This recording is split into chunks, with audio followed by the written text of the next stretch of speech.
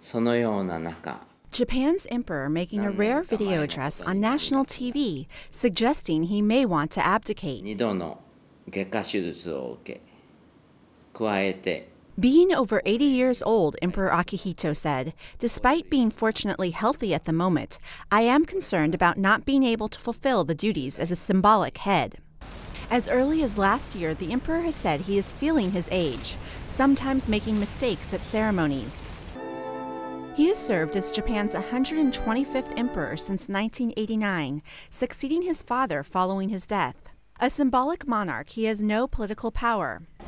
Following Emperor Akihito's address, signs of respect could be seen around Tokyo, with some bowing toward the imperial house, his primary residence. Yet Japanese imperial law does not currently allow for abdication. It's a, it's a full length, full lifetime job. Um, changing that uh, will reflect uh, the reality of Japanese society. The emperor's speech may have also been part of an effort to win over public understanding. Prime Minister Shinzo Abe speaking after the announcement. I do respect the heavy responsibility the emperor must be filling, Abe said, and I believe we need to think hard about what we can do. Some Japanese media are reporting the government may consider enacting a special law that would apply only to Akihito, allowing him to step down, but not covering any of his successors.